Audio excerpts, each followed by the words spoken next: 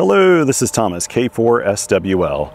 If you're new here, I like to do real-time, real-life amateur radio field activation videos. And today I'm at the Zebulon Vance birthplace. Any of you who are regulars here will recognize this site for sure. I've done tons of activations here in the past, and uh, yeah, today's no exception. Um, it's a beautiful day. It's what, uh, June 6th, it's a Thursday, and I'm going to plan to do a Parks on the Air activation here with what I think is a very special radio. Um, so before I begin, I'd like to thank my Patreon and Coffee Fund supporters. You guys really do make all this possible. Um, I don't run ads on my YouTube channel. In fact, I turn off all ads and all monetization on YouTube so that you don't have an ad popping up every so often in the middle of my activations and things. Uh, so this is a great way to support me if you feel like doing it, if you have the means to do it, if you don't have the means or you don't feel like it, that's fine too. uh, especially if you're saving up for your first radio or something, I completely understand. Um, but anyway, um, planning to do a park activation here today. I actually haven't been to Zebulon Vance in probably two months or more. Um, so uh, it's like, uh, I don't know if you feel this way uh, when you're doing a park activation or not, or a summit activation for that matter, but almost feels like you're coming back home when you uh, come to a park you haven't been to in a little bit. Now I'd planned to have a lot longer here to do an activation today, but this morning I uh, volunteered for, I'm a member of the, um, or actually um, volunteer for the Asheville Radio Museum and we're really excited because Asheville Buncombe Technical College, which is where we have our museum, has given us more space. And we're in the process of moving. Um, so we got way more space to put up our collections and it's super exciting. So I was helping this morning with a, a bunch of us volunteers to uh, set up some shelves and stuff for all of our collections in the new space. And uh, I spent more time there than I thought. A lot of it was because I was just chatting with some of the amazing members that are there. So that's what I was doing. If you ever come to Asheville, make sure you look up the Asheville Radio Museum. It's a really cool little spot and it's only getting bigger. So uh, I thought I'd have like a couple hours to do an activation. Now I've got like an hour to do an activation. Um, and the radio I brought with me is the amazing Mission Argo 1, or Mission RGO 1. I call it both things. This is one of my favorite radios. This is one of the very last radios in my collection I would ever even consider selling.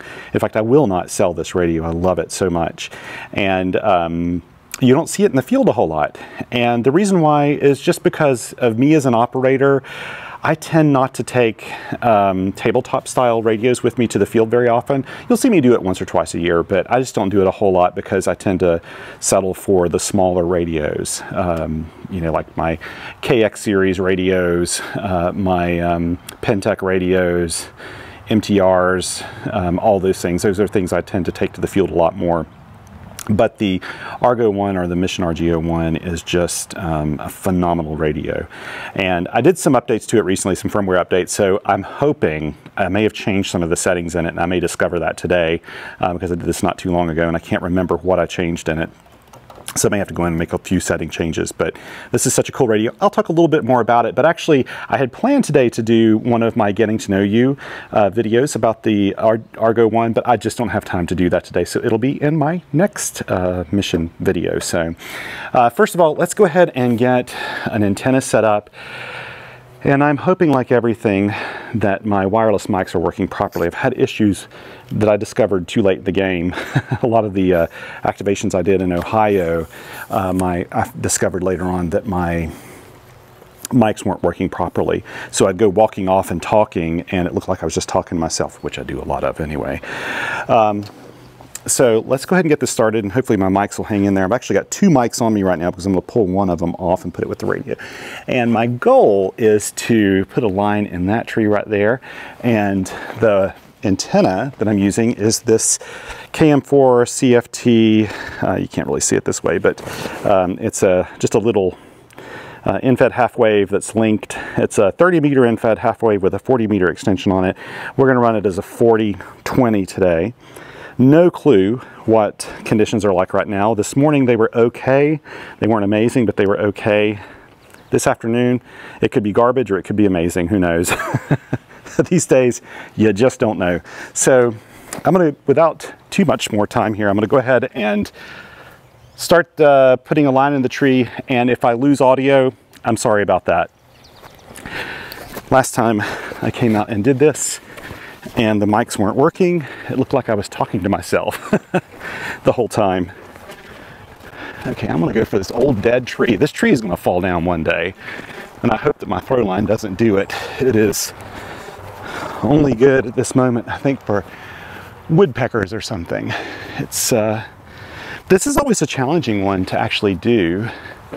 And uh, the reason why is because there's not a really large opening for um, getting a line in the uh, branches up here. There's very few branches, as you can see. And I think if I go for one of those top ones, I could possibly pull it a little hard. It's lost some branches since the last time I was here. I can always go for that live tree over there too. But this poor tree, I don't know if it gets too much uh, water or what, but we'll give this a go if it doesn't work. I actually caught that branch. I can't believe that. That was one in a million right there. Absolutely ideal for doing the uh, deployment of the antenna. This antenna is super lightweight, so it shouldn't put any pressure on that dead branch at all. And frankly, I don't think they're going to mind if they lose a branch over this because the uh, um, tree is not long for this world anyway. I'll come down one branch at a time. So let's grab my antenna. Now I will be using kind of this heavier coax today because this has a PL259 on the end and that's what's in the back of the Mission RGO1 Okie doke. I'm just going to string this out.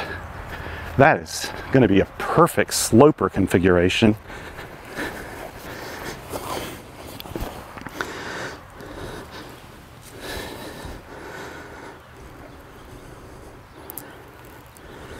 Okay, this always messes me up because I'm not putting it around a um, big ring like I normally do. There we go. This is a super thin wire, but I kind of still do this little easy to pull off knot. Now what I'll do is just string this guy out here. Whoops. Let's pull. How did I do that? Evidently last time I put this S-ring, S-hook in, I got the wire caught in it. There we go. Ooh, this is hard to get out. Yeah, I accidentally pulled the little spring-loaded clip on the S-hook around some of the um, antenna wire, and I didn't mean to do that.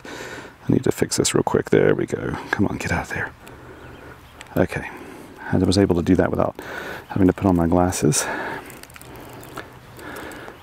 I'll just pull this out so that, let me make sure that the link, link is not in right now, so let me put the link in. There we go. So this will have the 40 meter extension. So this antenna will be resonant on 40 and 20 meters. And here we are close to the end. I'm to clip this around, give it a little bit. There we go. And I'll go ahead grab the end of the line here. And what I'm going to do is actually make it so that the end of my feed line is where the radio is. I'll go ahead and hook it into the radio actually. Sorry, I'm a little bit off camera here, but plug it into the radio and then kind of make a little there we go, a little strain relief here. And now I know about how far out I can pull this line when I start pulling the antenna up. But I don't want to put a lot of pressure on this. And the reason why is it's in that dead branch. And I'd, I'd rather that branch not fall because frankly, I really like where the antenna line is. That's as high as I can possibly get it in that tree almost. So I'm really pleased with that deployment and I don't want to mess that up. Here we go. Let's go pull it up on the other end.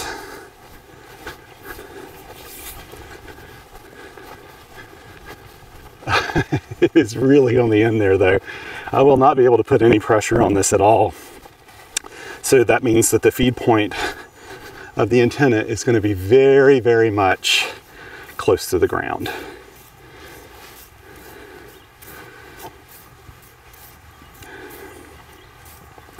And when I see that the orange line is starting to move, there it goes. That is about as much pressure as I think I can put on that line. So what I'm doing now, you probably can't see, but I'm hooking on my throw weight to this line to act as a weight to keep that taut. There we go. That's perfect. Now, the only thing I have to really watch out for is if for some reason a whole bunch of kids would come here and they could run over this line, which is the reason why I have this really bright line coming out. So I have to kind of watch for that. Hopefully you could have heard me this whole time and my, hopefully my uh, microphones work properly. I don't know what I was doing wrong before, but hopefully it's working now. Okay, let's put one of these mics down here. Oh, it's a nice day. It's a little humid. It's nice. Okay. And you know what? Since I've got this little foam seat, I'm going to sit on it because it makes it just that much more comfortable. this isn't exactly a uh, uh, a wet bench or anything like that, but yeah, just makes it even that much more comfortable. Oh, the Mission RGO1. Why do I like this radio? Again, I'll save a lot of this for um, my um, getting to know you video that I, will do on this, but basically it fills a really interesting niche in the market here. Uh, this is a I would call it like a cottage industry radio. Uh, Boris, who makes these in Bulgaria, is um, a fantastic uh, amateur radio operator, DXer. Uh, he decided to make a radio that he wanted, which is more of a legacy design, and that's what this is. You, it, this looks like a legacy radio. It reminds me very much, and I think he was inspired by, I'm sure, to some degree, uh, radios like the Ten-Tec Eagle. And uh, so he made this radio, and um, where is the paddle? There it is. Um, and he made this radio more of a traditional design like I think it's super het and um, simple controls designed around the controls you use the most in the on the air. I shouldn't say in the field because it's not even really designed. It it's, makes for a good field radio, but it's also a good radio for anything you want to do, contesting, DXing, whatever. Um, what makes it really unique is it's not a 100 watt radio. It's a 50 watt radio. Actually, you can get about 55 watts out of it, and um, the audio is just phenomenal. The receiver's phenomenal, and um, the QSK as a as a CW operator is phenomenal.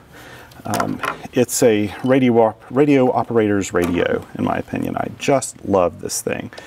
And you, anybody can get one, um, but he makes them in very small production uh, runs. And um, so you've got to kind of look at his website and figure out what, you know, well, I'm not hearing a lot of signals. This is not a positive sign, but um, I'll find an off frequency here to set up and we'll listen while I'm talking. Um, but uh, you follow his website, and I'll have links to all of this in my um, um, uh, description. So um, you can look up all this information. It, this, it's really unique and that this radio, and I think it catches a lot of people's eyes because first of all, it's a legacy design where you just have a screen, a big encoder, all the knobs and everything are up front.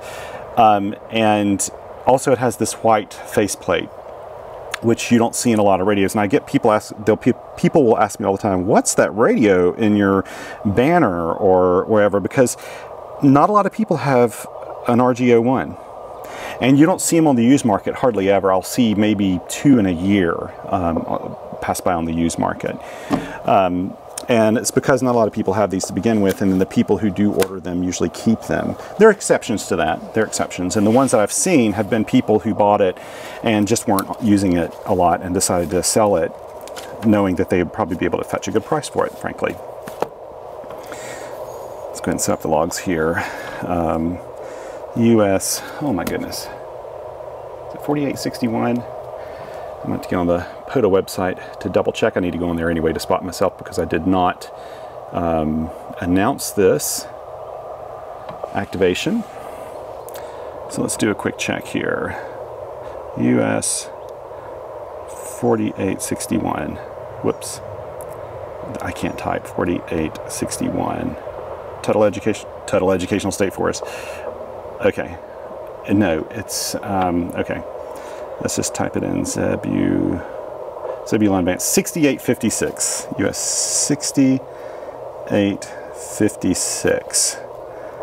Zebulon Vance Historic Birth Site. And today is the, again, 6th of June, 2024. We're going to start on the 20 meter band and I'll put Argo 1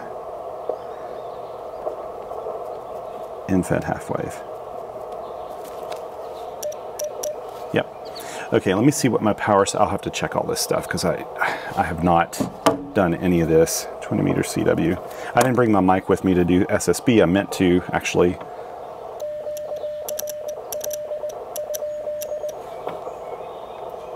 Power is at 5 watts.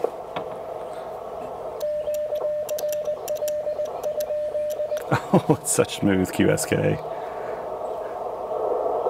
I love it. Just it has what it needs on the front, and I love that about it. Okay, and you know what? I'm probably not going to use the message memories. It does have message memories on here, but I may have reset them. Um, did I reset? Yeah, I reset them. They're not on there right now. Um, but um, uh, let's go ahead and put in my uh, time 13, so it's 14, 15, 16, 17, 1800 hours basically is where we'll be. And uh, I'm actually going to set this off to the side, this microphone. Yeah, good. Making sure the microphones are working. It seems like they're working. I really love it when they work. I, I'm guessing I just did something incorrectly when I set them up last time, uh, the last few times in Ohio. I haven't done an activation in a bit, so um, I don't think I've done, have I done one since, I did one activation since I've been back from Hamvention. I've been so busy, only got one in.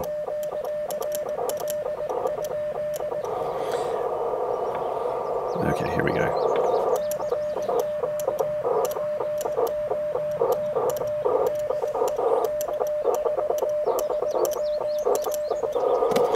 I need to turn up the side tone a little bit too. Let me spot myself.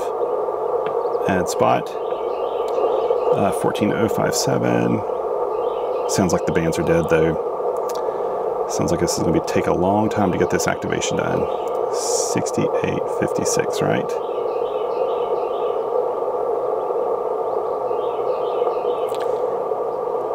There we go. That spot took.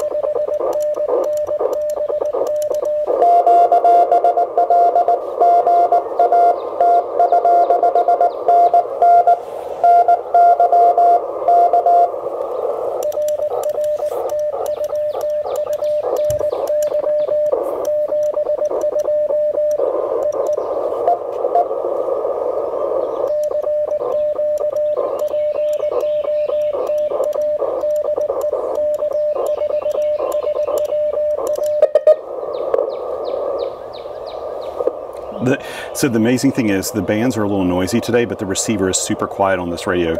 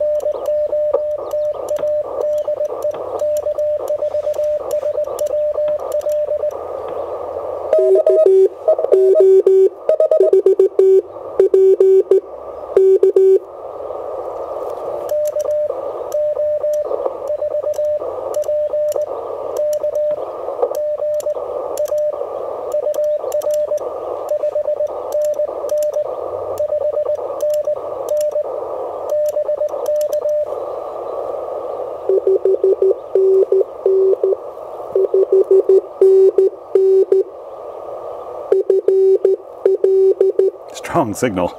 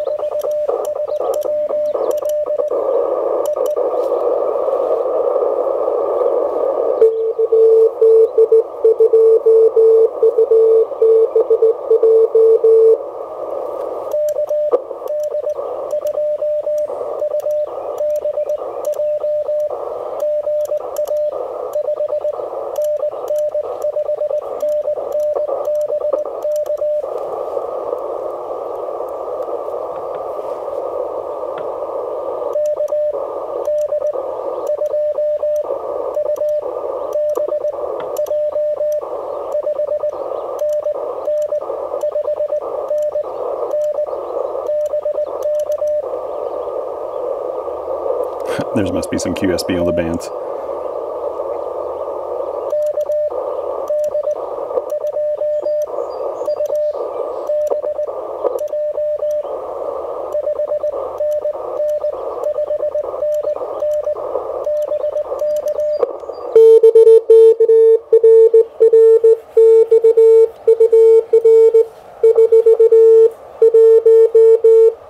Oh, okay, I'm 519. Has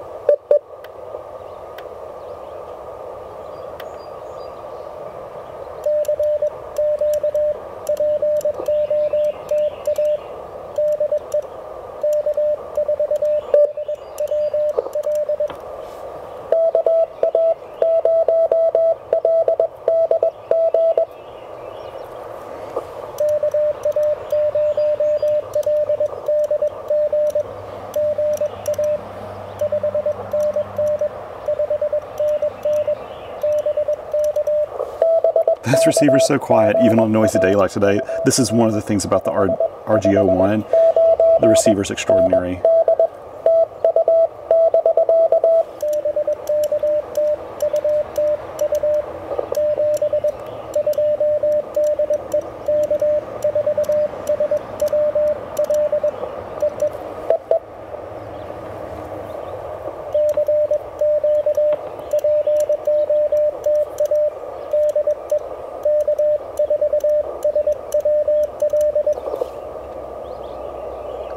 Should also, as I guess in the spirit of full transparency, I was also one of the first prototype reviewers and beta testers of this radio. Like five years ago.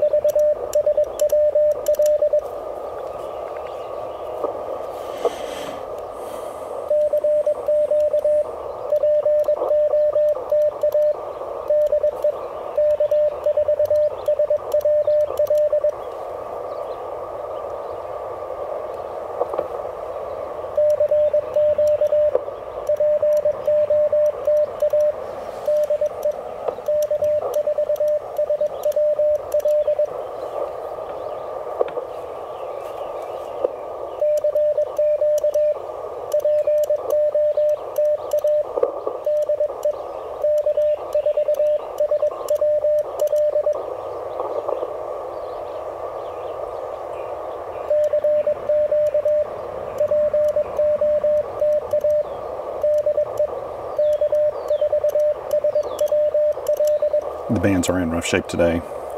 One, two, three, four, five, six, seven, eight.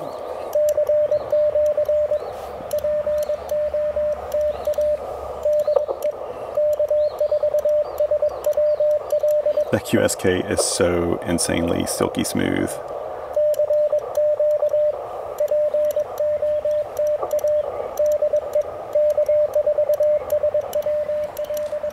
So, like I said, the interesting thing about this radio is it's not 100 watts, it's 50 watts.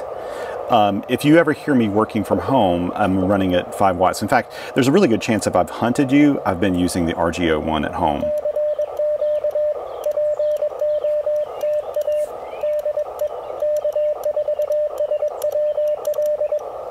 because I, I, do use it a whole lot at the house. It's usually on my desk along with my KX3, which are two of the radios that are almost kind of permanent there.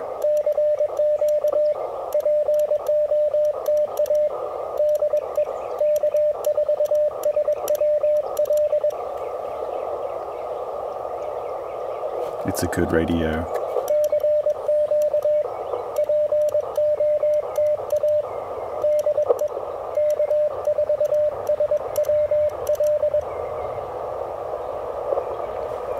One thing I want to check here, I don't know if I can do this.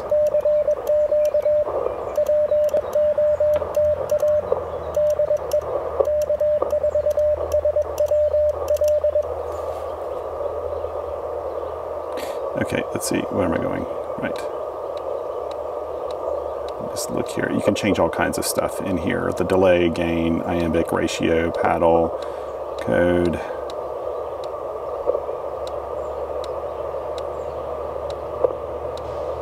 there are a bunch of settings in here that you, uh, there's a whole set of like secret settings that you really shouldn't be jumping into too much. Um, let me go ahead and just pull off this actually.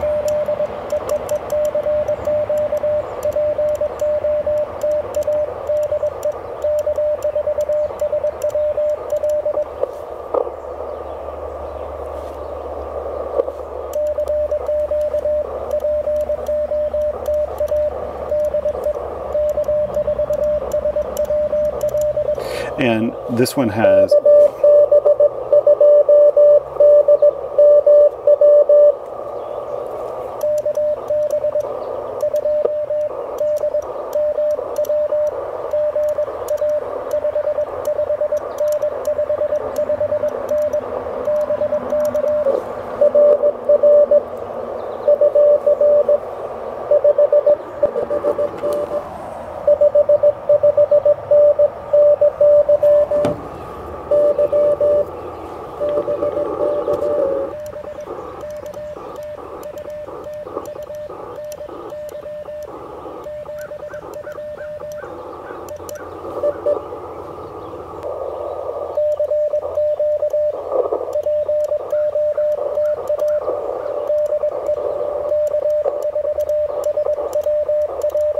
This radio has good contest chops too.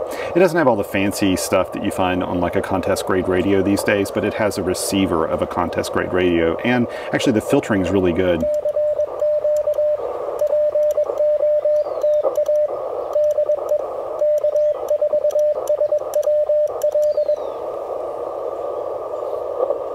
You like being outdoors, don't you?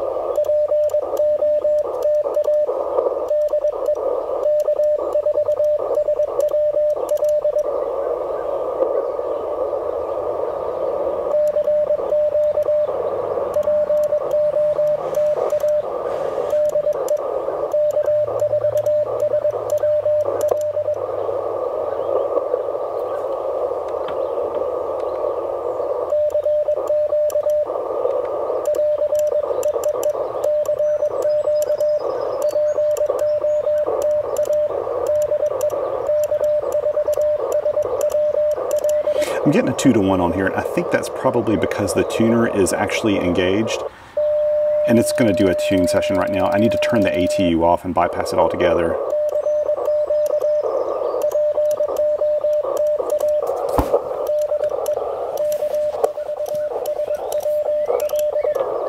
I need to actually just bypass the ATU and I've got to remember how to do this. I usually have it bypassed, but I changed a bunch of settings in it recently. Let's go in here real quick and I think it's down, um, is it ATU, whoops. I can't remember if this setting is for the ATU off. There we go. Uh, turn that off. Now I'm just getting a two to one.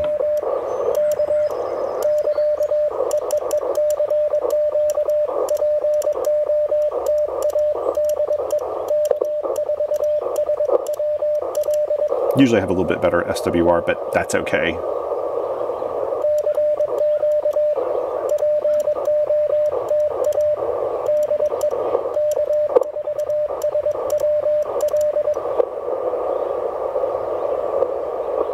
Okay.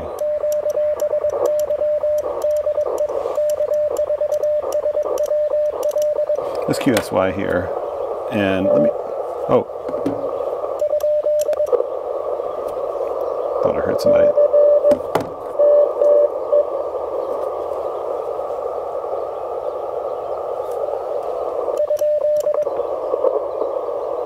make sure there's not somebody that wants to be worked. Let's go, let's try to do a little bit of tuning around here. I don't have a, so I'm gonna put it on mode CW. There's 12 people out here, 1442.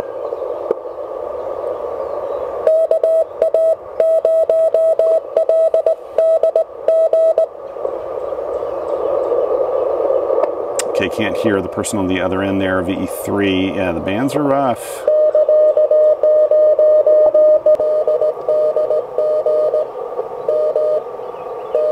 Let's try 65.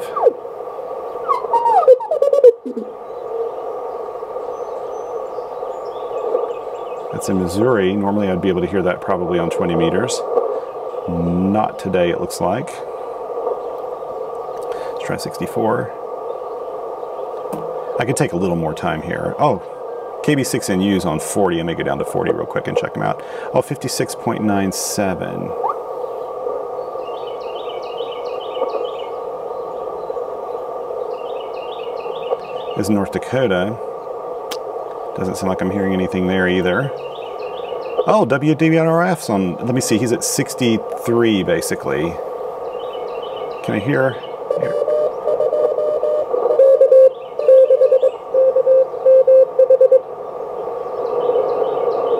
Mm, can't hear Eric. I can hear his callers. Yeah. Okay. Sorry, Eric. I know I won't be able to hear South Carolina, Alaska on 21. That was 10 minutes ago. That's probably too, too long ago. Let's go ahead and refresh this again and try one more time. Let me try to see if I can work KB6NU down. Okay, let's see, it's 45. We're resonant here. I don't need to use it.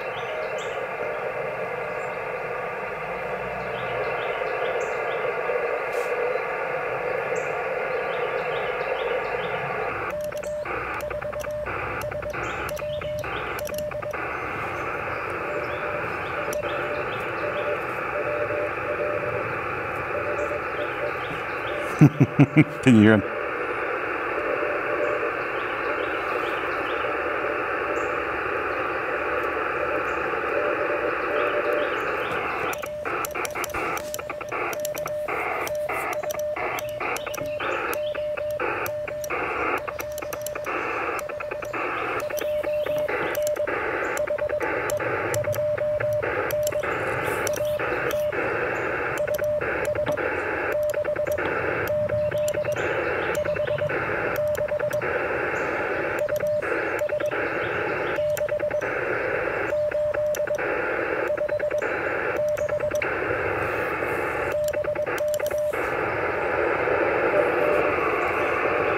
This is going a little too fast here.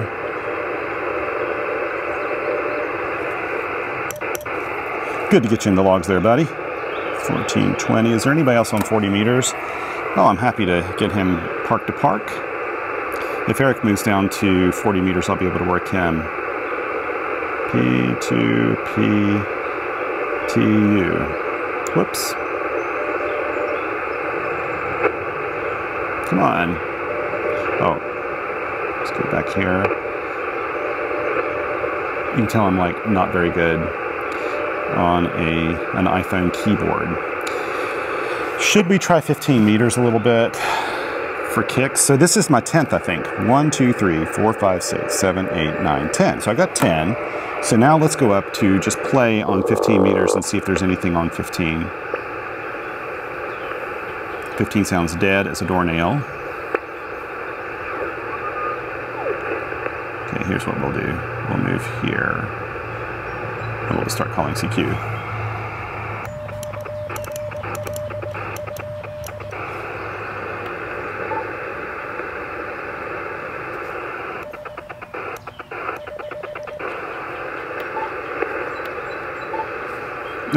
Sorry. Just kick up the side tone just a teeny bit. I actually like this one set for my shack, uh, for shack audio. Um,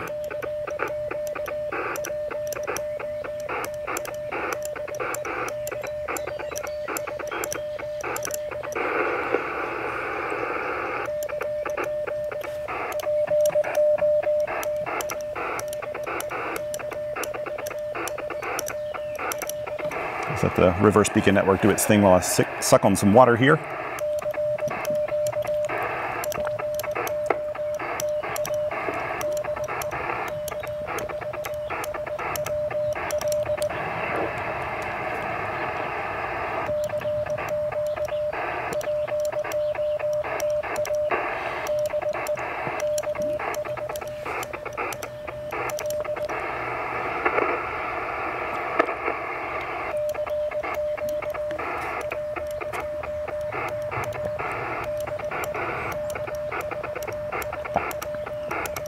Think that's the first time I've worked Dan park to park. Great guy. He has a, by the way, KB6NU has a really nice blog. He also writes all these guides to getting your license, which are really amazing.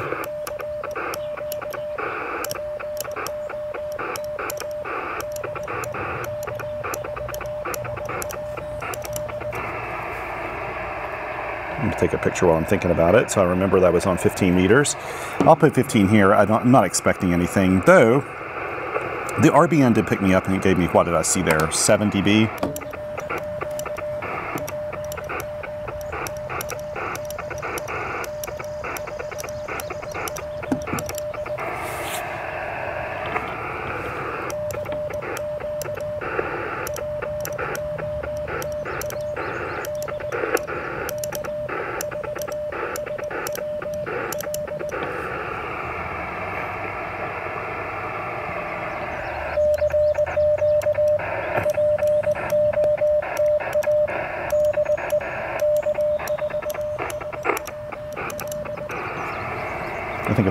On 15 today, it's going to be freakish.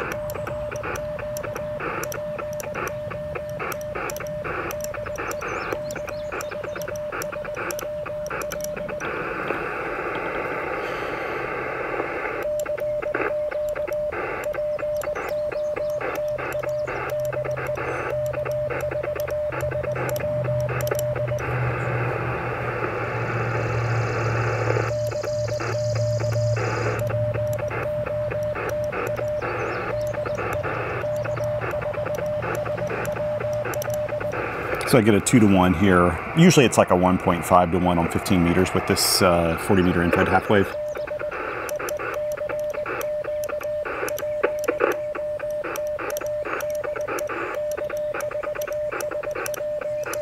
Oh, and I should tell people often when I'm running and I have more than like a 1.5 to 1 SWR, I get comments and questions from people saying, hey, doesn't that damage your radio? Absolutely not. Most modern radios will shut off if they have too much SWR, but I don't really start to worry until I'm 3 to 1 and higher even. And even then, I don't even worry that much. Like most of my Elecraft radios can handle probably 4 to 1, maybe even 5 to 1. Um, don't worry too much about it. You still get a lot of RF energy out of your antenna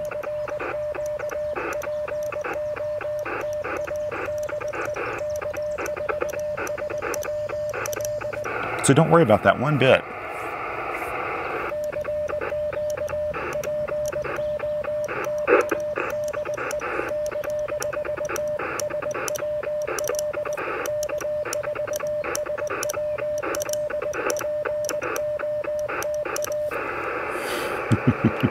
I messed up my call sign, so I thought I'd do it again.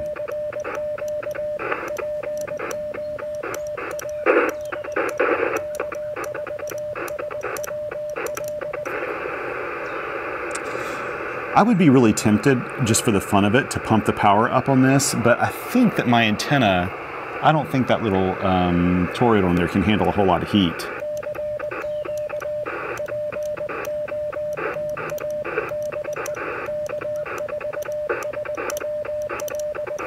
I basically only run more than 5 watts when I'm doing field day or if I'm trying to work a little extra DX. Like um, if I had this radio and I'm in a park and I've got an antenna that can handle the wattage, I'll sometimes turn it up just to give people a shot that may not be able to hear my QRP signal on normal days.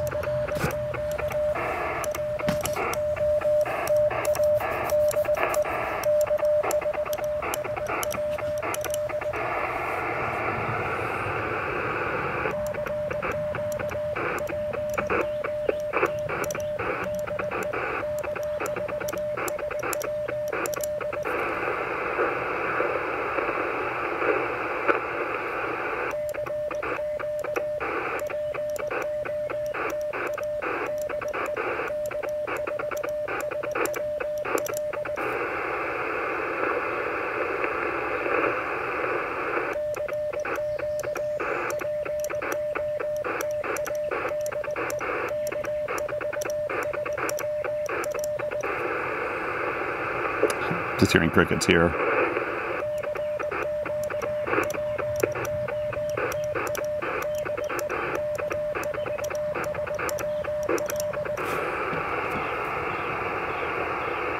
It is one of those days.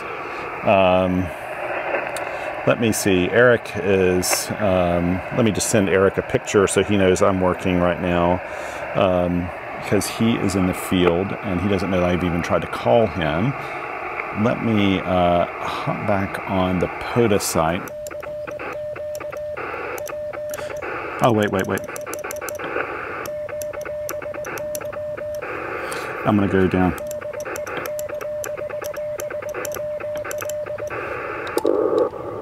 Eric is on 40 meters now, and there's a better chance I can get him.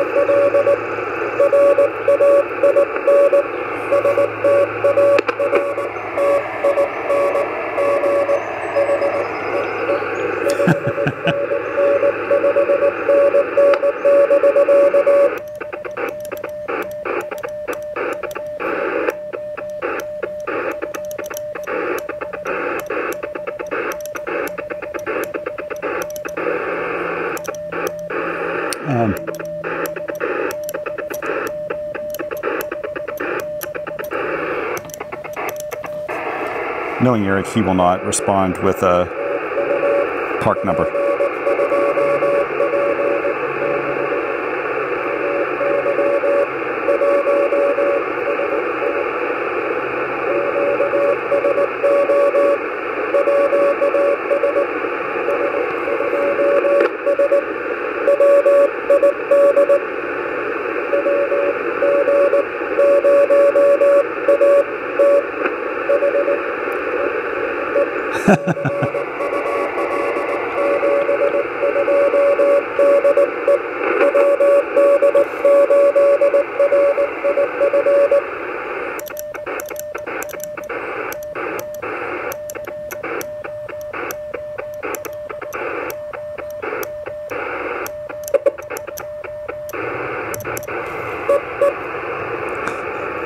That's great, Eric. Yeah, Eric's away this weekend. He's getting ready to do a rally event, I think, and um, that's just brilliant. I mean, it was great to work him. It was great to work him. Now look at this. See, I was getting a two decibel uh, figure on my 15 meter um, portion from a DL station. So I was making my signal was getting out. It's not a very great signal today, but um, oh, let's see here. Then here is Eric setting up. This must be uh, for his rally. And can you see this on here? So he just sent me this picture of where he is. That's his car. Um, and um, so he's just set up off the side of the road for this rally because his rally's, I think, in a national forest. In fact, let's see where it is. Um, his rally is in um, Tar Hollow State Forest. That's exactly where it was, Tar Hollow. That's kind of cool. I'm going to take a snapshot of that so I don't forget it. Let's see, that's US 5452. And that was on 40 meters, so there's nothing on 15. Should I try 10? I, I need to go here pretty soon, but let, let's just go. Maybe we'll try 10. If I hear something on 10, then I'll do 10. Not hearing anything on 10. Let's try some more park to parks here. Ooh. Let's see. See a station, I think, from the Netherlands, but they're on 40 meters, so that's not going to happen. Okay, California, 14058.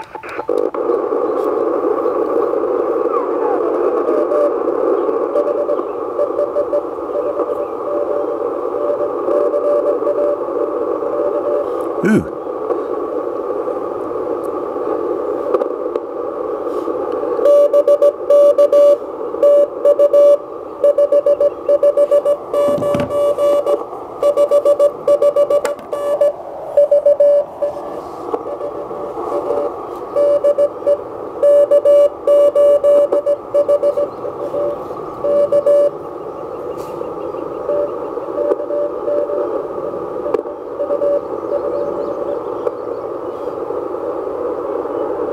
Fading out.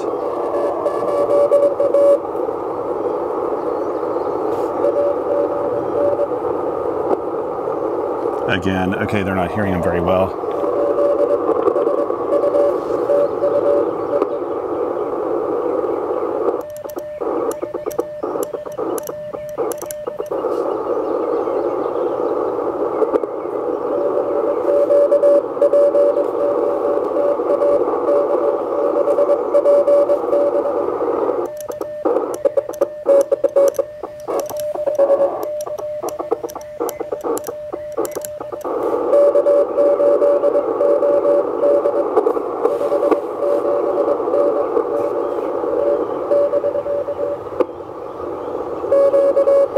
Gain's really effective on this radio. There's just a lot of band noise today.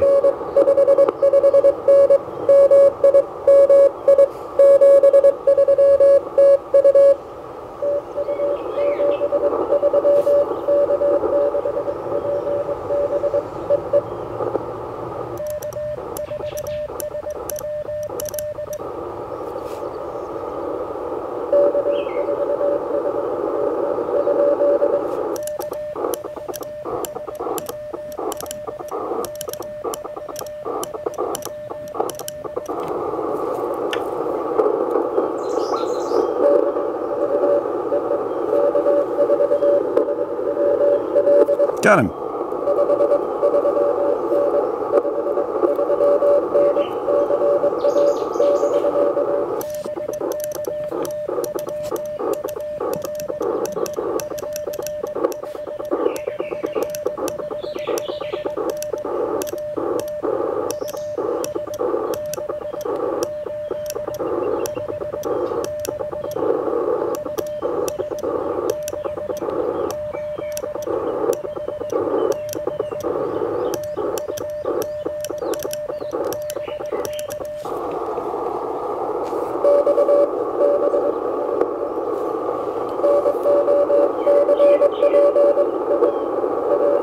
That's okay.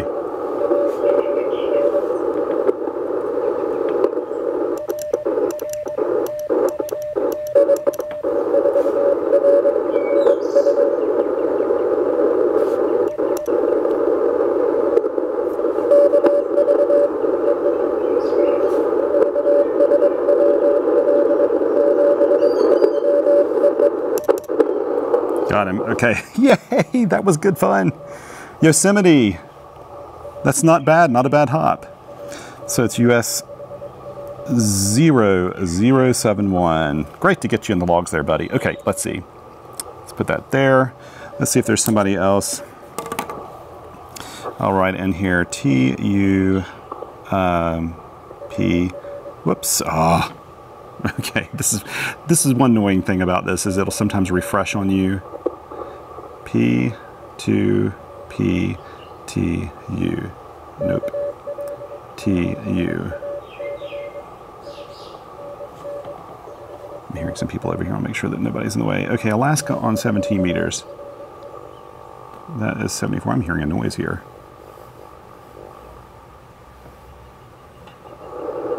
I haven't tuned this yet. Okay, Oh, I'm hearing a little something. So what we're going to do is I'm going to go over here to menu.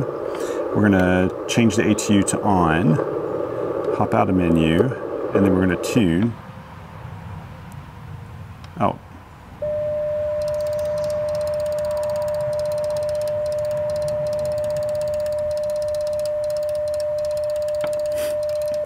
There we go. And where are we? 74.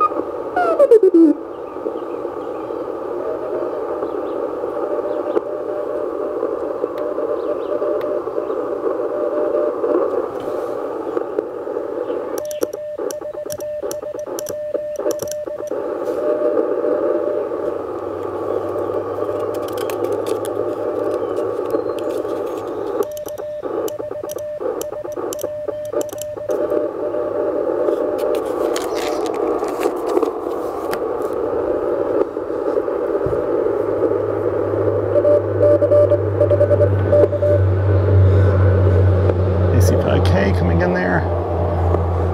Is gonna be faint, and I'm running it. I moved it up to 10 watts. This is Alaska. This is a very, very hard catch, and on a day with bad band conditions.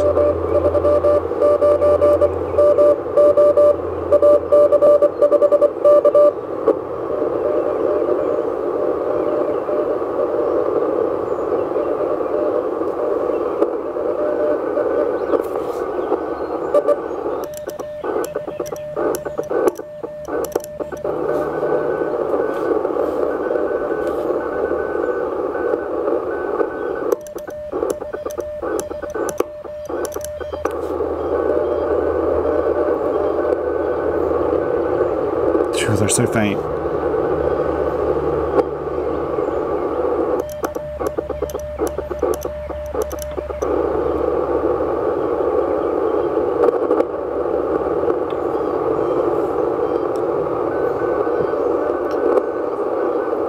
Now what I'll often do is just wait around for the signal to come up a little bit. I'm not hearing it come up.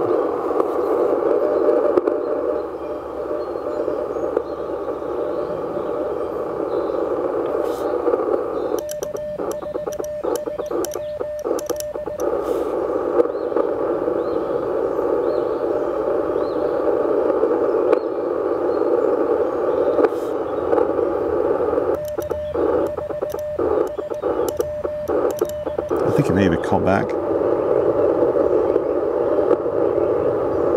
Oh my gosh, there's no way.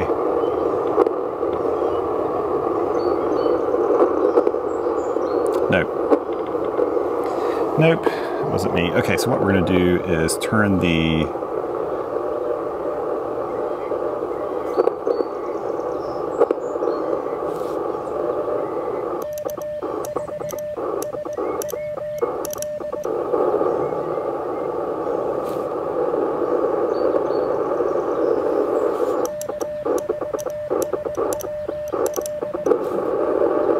No, they can't hear me. Okay, we'll just move on here and see if I can work a few more park to parks uh, since I got a little bit of time.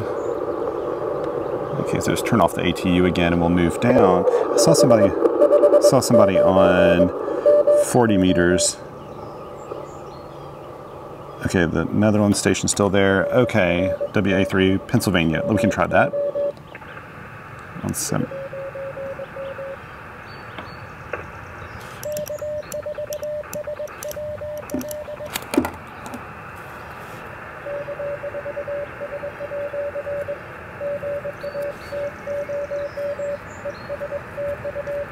To finally work you.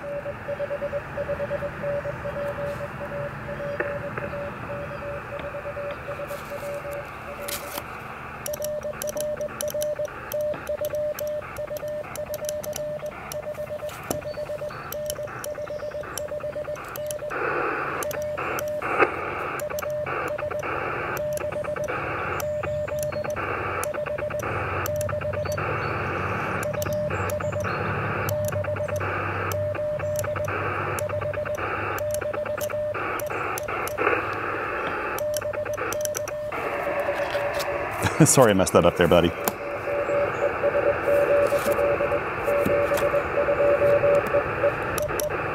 You know what? I realized I got my, I, I, have this completely messed up from about here on 18, 18, 18. I was looking at my watch and it's 14. So we're at 1841 and WA3GM was at US 1350, US 1351. Uh, And I work WA3GM a lot uh, when he hunts me, so it was kind of great to work him park to park park to park. TU. I like, ugh, I keep writing RU in there. I know it must be frustrating when you're here with me, like, Thomas, can't you type? Maybe I'm not the only one with fat fingers on a on a uh, little keyboard like this. Okay, let's try again on 20 and see if I can get 42 in Ontario. Normally that would be doable. I don't know about today though. I can try North Dakota again and see if it's come up any. Should wait a little bit longer than I just did just then, but I'm going to go back. I'm to kind of float between these two.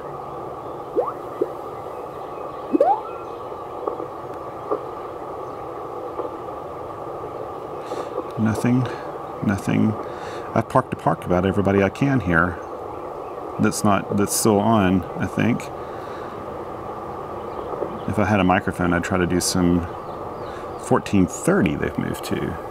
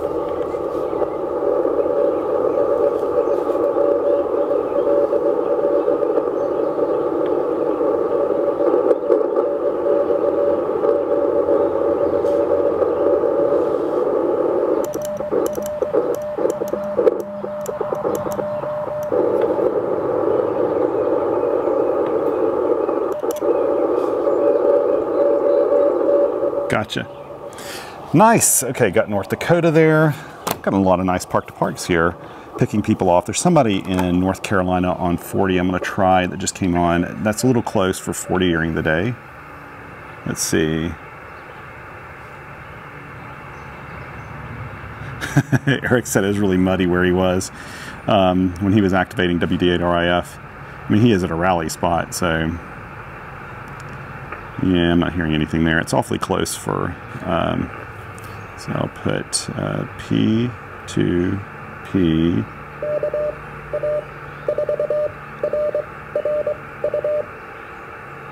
Um, good. Okay, I think I'm to call it quits now. Let me just take a couple more photos here. I need to head back to the house. My wife's got some projects for me. On my honeydew list. Oh, this is such a photogenic radio. I really do think so. I think this is a photogenic radio, if there's ever been one. And just its simplicity. You know, the RGO1 has like a simple layout, and this was designed. This was designed by a. Um, so I'm hearing the other end of this. I can't hear the activator. But this was designed by a guy who does DXing and who's an avid CW operator. So like right out of the bat, um, right out of the gate, I should say, and right off the bat, um, the, you know, even when I was beta testing this radio, the keyer was excellent. Um, all those things worked really well. In fact, the only things we really came across in beta testing were just like little teeny glitchy bug things in the menu system and stuff, and Boris sorted all those out. Um, this radio, I will tell you this, again, I'll, I'll speak more to this in the getting to know you that I'm going to do for this radio. But um, and the getting to know you videos if you haven't done if you haven't seen one of mine before i just spend uh, time before my activation talking about what i love about the radio and all that stuff and and you know some of the unique things about it. And the rgo1 is one of those radios first of all that i'm just in love with so much. I would sell my k2 before i sell my rgo1 that's how much i love this radio. I'll never this is in my permanent collection. It'll never go anywhere. Uh, so um, you know, I think it's a very special radio. If you get a chance, if you like this sort of thing, if you like a legacy kind of radio with a superhet and and that, those kind of audio characteristics, a little low, uh, excuse me, a low noise floor, and all of that, then you would be very pleased, I think, with the Argo One it's just such a great radio. Um, if you are the kind of person that likes the latest technology and you want like um, heat display, you know, like uh, Spectrum displays and stuff like that, of course, this is not for you. But the great thing about this radio is you can turn it on. It's just on. There's no boot up time. It's just pretty much on. And um, uh, there are modules you can get for it, like noise blankers, SSB. In a way, it's kind of like a, an Elecraft radio in that respect that you have these modules you can add to it. Boris is always innovating. There's another module coming out before long. I can't even remember what it is now, but he's always working on it. And the community of people that have these radios is pretty darn strong. Uh, they've got a good uh, discussion group, and Boris addresses things really quickly uh, when they happen. It's just an exceptional radio. I don't mean to, like, like I said, in the spirit of full disclosure, I was a beta tester for this radio. I've had this now five years.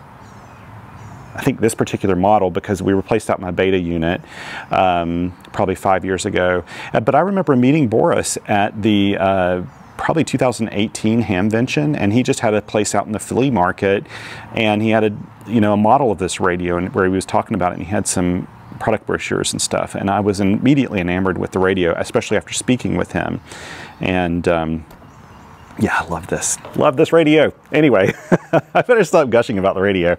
Um, I'm not trying to tempt anyone, but I'm just saying if you're interested in one of these, you probably won't find them on the used market very often. Like I said, maybe once or twice a year, you'll see one on the used market. Um, you just probably need to get a new one and contact Boris on his website, find out when he's doing his next production run, and you can maybe get in on that production run to get yourself one too. Uh, so let's see how many I, I contacted. They one, two, 3, 4, 5, 6, 7, 8, 9, 10, 11, 12, 13, 14. I don't think that's too bad at all. Uh, a lot of park to parks. Um, we got to help each other out on days like today. That's for sure. Oops. One thing I need to do before I put this up, especially since I'm not, I do this anyway, but especially since I am not um, logging live on HAMRS or an app like that, I need to take a picture of my logs here. Yes, sir. Whoops, that's right, this side. Get a nice picture of my logs. I've got that. And um, let's uh, go ahead and put this antenna up, shall we? I need to, uh, got more things to do. I got my pockets full of stuff today. I've still got tools and things in my pocket I took along uh, for the uh, uh, radio museum get a little bit of water. Let's put up my logs here. Just turn off the radio.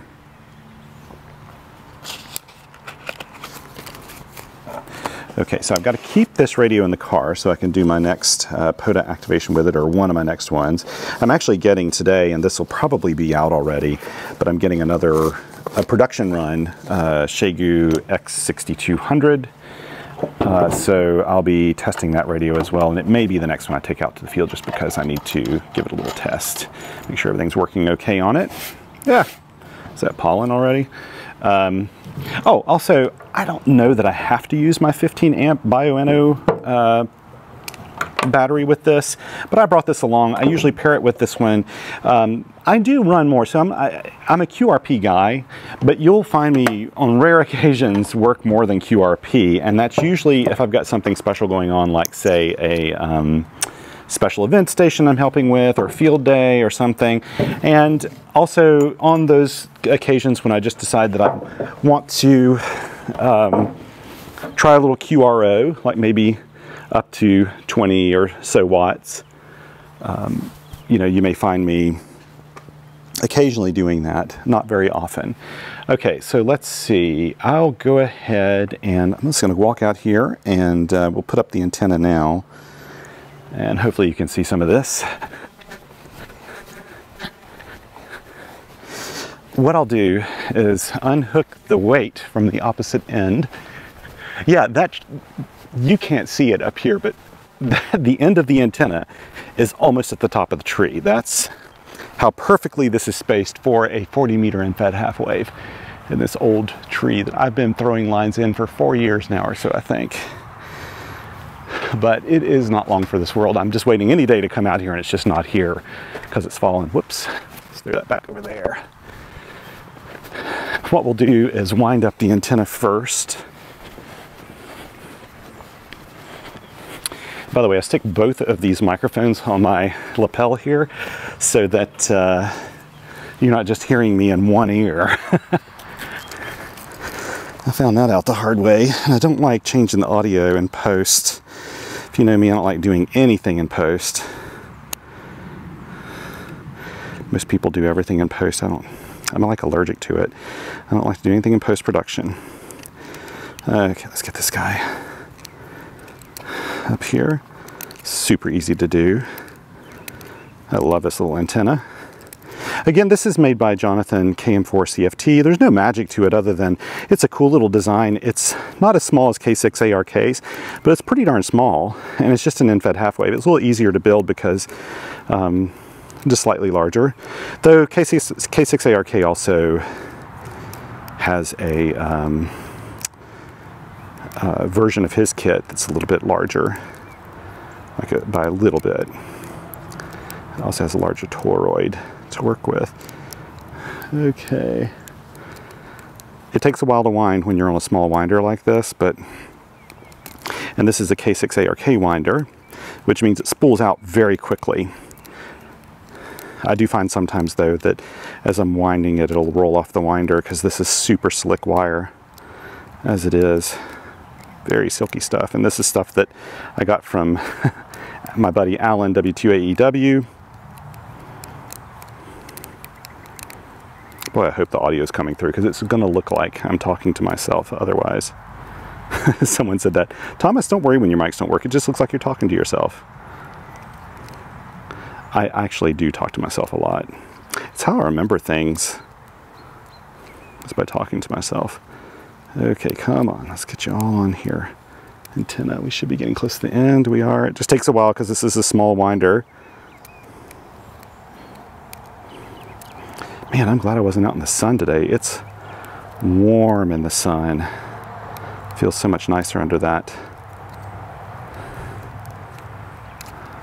um, picnic shelter. I've got a really pretty drive home. When I drive home here, I go up on the parkway and uh, it's just a really lovely drive. I used to do this drive a whole lot. My daughters don't take classes out this way anymore though. So I'm not out here as often as I used to be. There we go, there's the end of that. I'll go ahead and put this Velcro around the antenna just to hold everything in place nicely. I do love this thing. There we go. And we'll roll up this. I probably told you before that I don't often bother doing the over-under method with this particular cable because it's um, it's kind of stiff. I don't know if you can see this, but um, it's just kind of a stiff uh, um, jacket around it, which I love, by the way. Um, I think it actually makes for a really good heavier cable. I don't take this on SOTA activations or anything like that, but for POTA it's wonderful. It shows up really nicely in a park.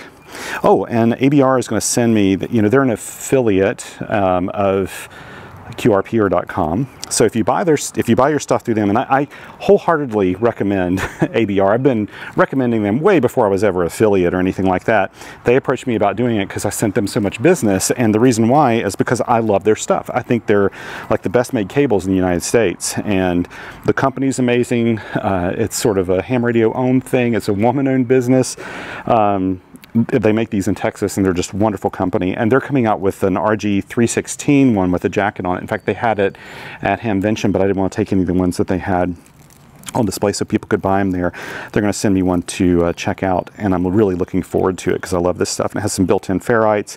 But if you buy through me on, my link, you can save a little bit. I think when you um, there's a, there's a coupon code uh, for saving money, and we get a little bit of uh, commission on it. I'm just to take you over here. Let me do it. You can see over here a little bit how I don't know if you can see that or not, just how I'm just on the tip of that tree over there. if this tree were alive, I wouldn't worry about it at all, but you can see stuff's been falling off the tree. So for that reason, and this is something you should always be aware of when you're doing POTA or SOTA. You don't want to put yourself underneath something dead, right? So that's a really bad idea if you do because those things can be what they call widow makers. And you don't want to be a widow maker. you don't want to be under a widow maker. This line's so light, I don't think it's going to tug or do anything to that branch. I'm sure it'll survive this, but you stay away from it. And in fact, if I'm being honest, with dead trees, I always look at the tree and see where I think if it were to fall, it would fall. Like if the wind or something came through, you got to be watching out for that. Um, and so I see on the side of the tree that looks like it wouldn't fall because they all naturally kind of like bend one way or another and that's usually where they're going to fall and uh, go on the other side. I was just reading this morning in our local paper that a local high school girl, four days from her graduation, um, was camping with friends and they were camping in a spot that had some straight line winds and a tree fell on her camper, which was really sad. I don't know if she's in a tent or a camper and killed her. It was just so sad. Uh, trees are amazing. I love them, but I'm, I'm also very careful of trees when I'm out and about. And honestly, if you're at a park like this where they don't mind you putting lines in trees, if you ask, um, if you're in a park like this, you got to pay attention to it because you're if you're throwing a line in a tree you're going to be putting a little stress on the branch it may be stress that it can easily handle but it's still stress and if it's going to fall it's going to fall while you're see if I can get this to stay up um, it's going to fall while you're messing with it right so be aware of that here we go Stuff this back in the bag. It's ready for my next deployment. I've been using this one a lot. I used to use my Marlow 2 millimeter line, and I realized lately it seems like when I'm throwing lines in trees, I'm putting them in um, sometimes trees like this with a lot of uh, branches that's kind of dense, and you don't want to necessarily use a lightweight, you want to use like this thicker poly rope and a heavier weight when you're throwing it in a tree like that. And I packed that today because I didn't know if I was going to use this tree over here. A tree like this one doesn't really matter. But just keep a rule of thumb, the higher you're going, the more you want the weight to weigh. I never go over 12 ounce weights, but if you use an 8 ounce weight on that tree, that's that's that was up pretty high.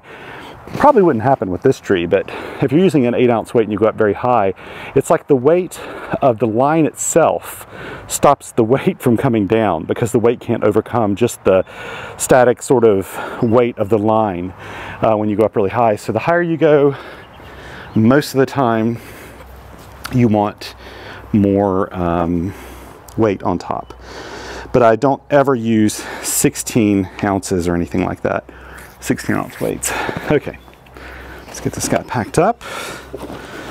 Ooh, I've got a key in here I forgot about.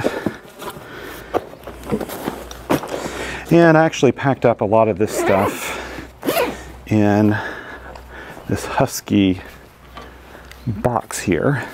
Oh, a friend of mine was just asking me what size this box is. I think it's the five gallon size. Let me look and see if I can find it while I'm here. By this Husky box, I'm talking about this. These are sold at Home Depot. I just found them one time and there are some nicer boxes out there higher end boxes but these are good because what I like about these I keep them just for well it says camping gear on my wife labels everything um, I'm pretty sure this is the maybe the five gallon size but you can open the lid like this and it comes off the lid has a little gasket around it so it is pretty darn um, uh, waterproof and watertight which is really good this just carries like extra stuff in here. And I had this for Hamvention. I haven't completely cleared it out yet. You know what? I'm not seeing on here what it says it is, but I'm pretty sure this is just a five gallon one. it's five gallons. Let's put my key in here. Put the battery. I may put the battery on top. Should I put the battery on top? I'll put it right there like that. Cable in here. And I think that's it. Oh, I can get my little folding seat. And this will all hold it in here nice and tight. But the other really cool thing about this lid is if you pop it on and you do two sides of it, you can lift it like a lid. So I can change it and I can, I can lift it from this side or this side. And both sides actually have a place to put a key in, or a lock in it. Not that I would ever do that, but it's, it's kind of nice and convenient. Anyway, um, yeah, thank you so much for coming along with me today. I really appreciate it. It's, it's always nice to come out and do these activations. And I've got to say, I probably told you this already, but um, I was telling my wife yesterday just how insanely rewarding it was going to Hamvention and so many people coming up to me and saying that, um, you know, they enjoyed my videos and the thing I heard more than anything else was people said, don't change your format. And I have no intention of changing my format for a lot of reasons, but this is how I like to do things. It's not what YouTube likes. Um, so I'll never have, you know, hundreds of thousands of followers. That's not going to happen. And I'm fine with that. Um, I'm uh, actually I'm more than fine with that because, as I've said before, I kind of feel like with the smaller channel, you have a smaller community that wants to be here. They're not just drive-by commenters. I don't get a lot of those. I don't have to deal with a lot of spam and uh, trolls and things. I don't. I rarely have anything like that. And uh, so I kind of like the channel being the way it is right now, and I don't care what my statistics are or anything. I don't even look at them. I can't tell you right now how many subscribers I have even. Um, so I appreciate you being there, and it was just really heartwarming when people said that they felt like they were coming along for a ride because I honestly feel that way. And when I meet you in person, I feel the same way. I feel like you've been there with me on these activations. Um, I'd like to think that when you're out and about uh, doing activations too, that you kind of feel like somebody's there along with you as well because uh, I think we kind of all are in this community. We all experience the same thing when we go out, kind of the thrill of doing radio outdoors, making contacts, connecting with our community and friends, and just having fun. Uh, it's not something that everybody in the world does. A lot of people have smartphones, very few people have an HF radio or an HT for that matter. So I love it. Anyway, thank you so much for coming with me today. Take care of one another out there. Be kind to one another. And until next time, seven twos.